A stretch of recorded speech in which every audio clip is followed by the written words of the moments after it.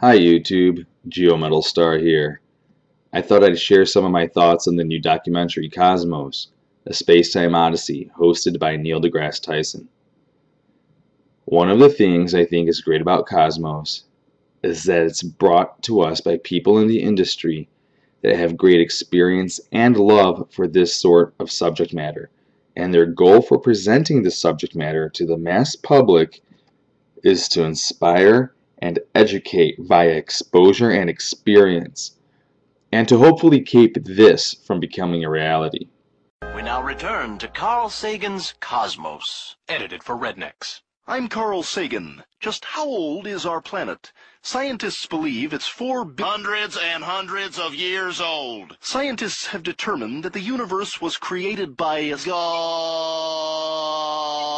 Big Bang. If you look at the bones of a Jesus rex, it's clear by the use of carbon dating that Mountain Dew is the best soda ever made. Cosmos is brought to us by executive producer Ann Druyan, who incidentally was Carl Sagan's spouse and was intimately involved with the original Cosmos, making this reboot a spiritual sibling to the original because, in a way, they have the same mother. On a side note, the story to Jodie Foster's sci-fi movie Contact was written by both Druyan and Sagan. If you haven't seen it, check it out. It's a great flick. It's really deep and philosophical. It's pretty cool. Alright, Seth MacFarlane. We all know him as the creator of Family Guy and the co-creator of American Dad and The Cleveland Show.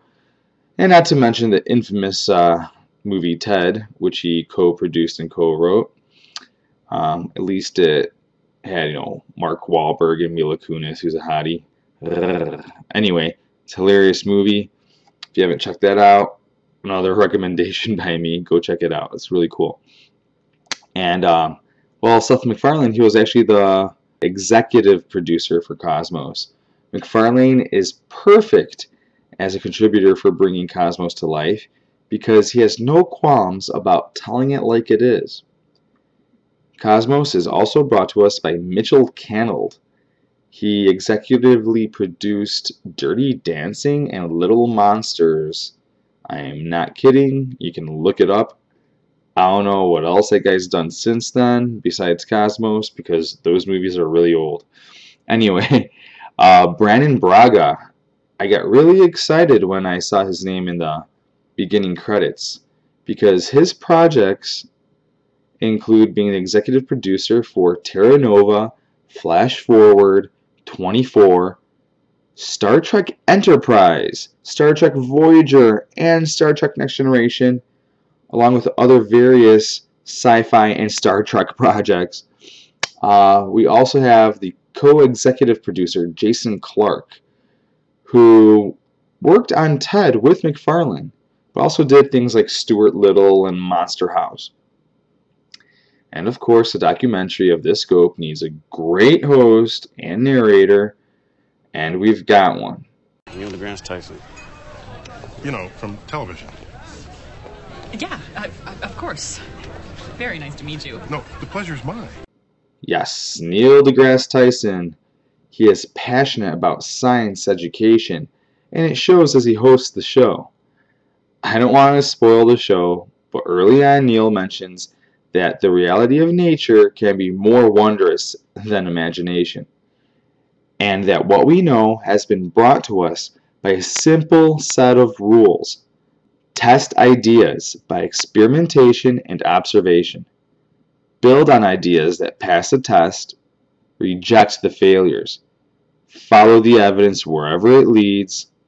And of course, question everything which I pretty much uh, think translates to no blind faith. Yeah, okay. Anyway, accept these terms and the cosmos is yours. With that said, I'm excited for episode number two and I can't wait to see where the series takes us. The winning combination of Neil deGrasse Tyson's persona and the awesome writing, animation, and visual effects brought to us by the production team I mentioned earlier will make Cosmos, a space-time odyssey, an instant classic for anyone with a willingness to simply not be ignorant to the universe that surrounds us. On that note, thank you. Have a great night.